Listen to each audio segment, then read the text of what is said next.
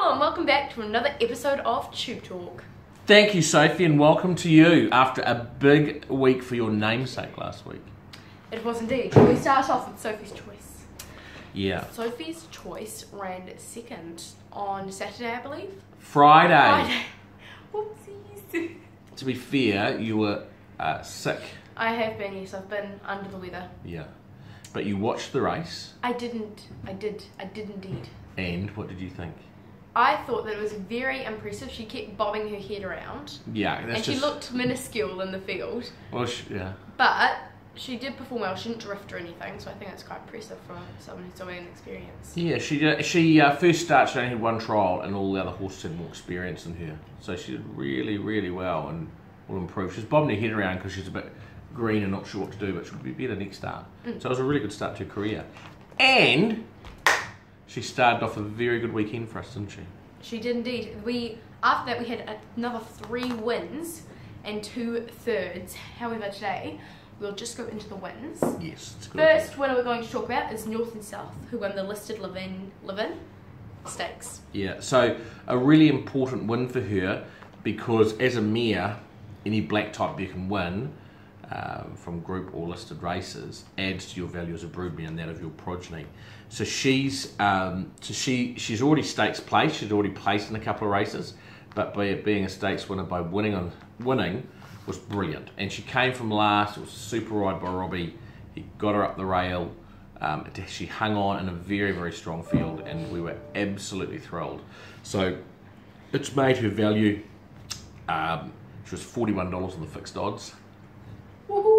And when the rain started coming, she became a much better chance. And um, she'll look at the Manawatu Challenge Stakes in two weeks' time, uh, on the seventeenth of December. If it rains, otherwise she'll go to the paddock. Would you like to start an email tally? Oh well, yeah. Okay, I'll I'll go go. for four. Oh, I was gonna go four. I'll go three. Haha. Okay. Next up, we had Rude Not 2, who won fresh up at Ellerslie. She did. It was um, a really good win because she was racing out of her grade. She's a rating 75, rating 70, so she can run to rating 75 races, but she was on a rating 85 race. And we think she's a miler, so we thought felt the 1100 metre, she's group placed a mile, 1100 metres would be too short for her. So she did a couple of things against her, but she jumped well, Danielle rode her brilliantly, and it was a really, really tough win. She, and she's in for a very good preparation, and we may look at some group racing for her over Christmas if she can win her next start. Awesome. And the third and final winner we had last week was Elusive Boxes, who won on Sunday. Yes, very exciting. Uh, the photo finish took them three or four minutes to separate them, her and the other horse. We, when we watched it live, we thought, oh, we did, weren't sure. I thought she'd been beaten. Another couple of people with me thought she'd won. And then when we watched it again, the slow mo, we thought she'd won, but it took them three, three or four minutes to call it. And so she's she's now won about fifty thousand dollars in her last three starts. So she's going really well. Yes, and she's looking for more ground. There's more wins in her. Awesome. Okay, so this week we've got four runners and a little special announcement at the end. So we will start off on Saturday at Trentham, race three, and we will be talking about Charlestown. Charlestown has been in training for a long time, waiting and waiting for good tracks and waiting for a reasonable draw. And we're going to get a, like a dead surface on Saturday, so that's going to be perfect for him.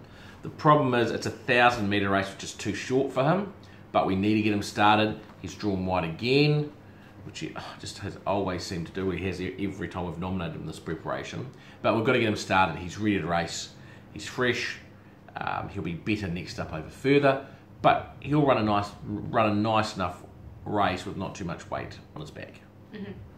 Uh, second up, I have written so badly here, but I think I believe that's race four. We have a two-year-old running, and that is has a has a halo. Yes, so halo. she's running in the Group Two Wakefield Challenge Stakes with a hundred thousand dollars for two-year-olds. It's only a field of eight.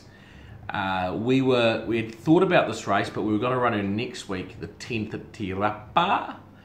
Um, but when there are only seven nominations for this race, and it's got black type for her being a filly, we elected to run here. Uh, and she uh, worked up nicely on Wednesday morning in preparation. She's got barrier five of eight, which is nice. Sam Spratt sticks with her, um, and she is she's got quite a bit of ability, and she is a distinct each way chance. Uh, third, thirdly, I don't know if that's Thirdly, Thirdly, yeah, third runner. on Saturday at Ellerslie, race seven, we've got Scarlet Secret. We do. We do indeed. Scarlet Secret's won the last two races in a row. Her last start last season, her first start this season. Her first start this season, while in a much weaker field, was very impressive. She's got barrier one on Saturday, which we love. Um, Trudy Thornton rides only 54 kilos. She should get a nice run in, in transit, um, just behind the speed. And while she's stepping up in grade, she's got to be a winning chance. She's got to be a really nice each way chance. Uh, I'd like the track to be a good three for her. Did four's okay as well, or did five, but a firm track, and she's going well. She's come back very well this campaign. And finally, on Sunday at Waipukurau, so how have I said that correctly? Woohoo! Um, race four, we've got Petite Midas. Yes, yes. Petite Midas, she ran second, beating a nose in a $30,000 maiden last start, um, where they ran 107.77, so she was flying.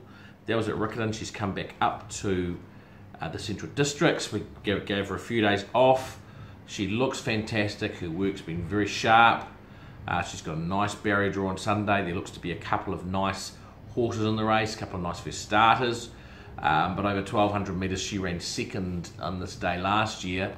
She's got to be a good chance. This is a, a very good chance for her to break her maiden. So I expect her to run very well. And Kelly McCulloch sticks with the ship.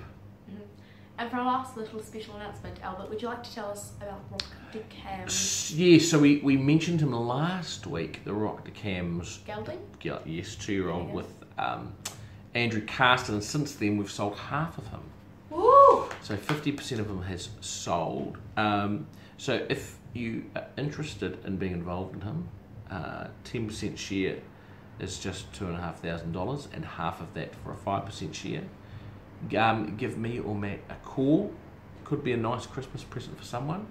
Um, but the rate he's he is going at, um, he's been he's been popular. He'll be I think he'll sell out the next sort of week or ten days. Awesome. Mm. Thank you very much, Albert, for this tube talk. That's all right. Can I give him a quick, sneaky little bit of the week? Of course you may.